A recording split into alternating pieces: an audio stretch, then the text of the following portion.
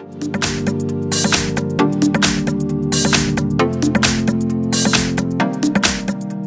I've got Nokia 8.1 and let me show you how to change the font size on the following device. So at first open the settings, then scroll down a bit and open display, then go to the advanced options and here you will find font size. So simply click on it and now by tapping on this scale you can change it to the large one, the largest or the very small one. So just select the one that you like to have.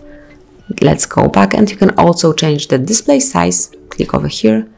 Here we've got the current one, the default one. You can also pick the large one if you prefer, the very huge one or the small one. So it's all up to you. I will pick the default one, but you can change it uh, whenever you want to and just adjust it to your preferences.